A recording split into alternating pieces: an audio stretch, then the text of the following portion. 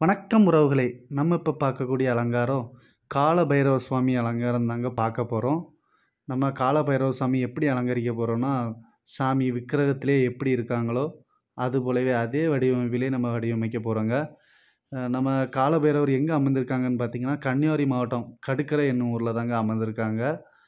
நம்ம கால பைரவருக்கு தேவையான கிழங்கு மாவுகள் எல்லாம் விரசி எடுத்து நம்ம யூஸ் பண்ணக்கூடியது கிழங்கு மாவு தாங்க நம்ம கிழங்கு மாவு கூட ஜவ்வாது பன்னீர் எசன்ஸ் அதெல்லாம் வாசனை திரவியங்கள் எல்லாமே மிக்ஸ் பண்ணி தாங்க பண்ணுவோம் சாமிக்கு சாமிக்கு வாசனையாக இருக்கணுங்கிறதுக்காண்டி எல்லாம் மிக்ஸ் பண்ணி தாங்க பண்ணுவோம்.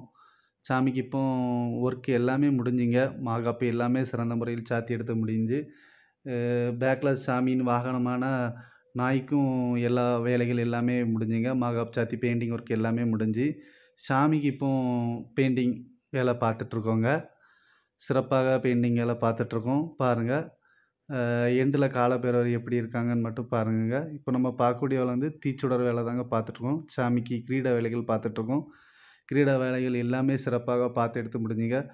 காலபைரவர் ஒரு அழகான ஒரு அலங்கார காட்சி உங்களுக்கு த தருவதற்காக தயார் நிலையில் இருக்கிறாங்க. எப்படி இருக்காங்க? காலபைரவர் சுவாமி நம்ம சப்ஸ்கிரைபர் அவ்வளோ பேரும் நம்ம வீடியோ பார்த்தீங்கன்னா நம்ம காலபைரவர் சுவாமி எப்படி இருக்காங்கன்னு சொல்லி நம்ம நம்மளுக்கு கமெண்ட் பண்ணுங்கள் நம்ம சப்ஸ்கிரைபர் யாருக்காவது இது போன்ற அலங்காரங்கள் பண்ணோன்னா நம்ம நம்பரை காண்டாக்ட் பண்ணுங்கள் உங்களுக்கு சிறந்த முறையில் நாங்கள்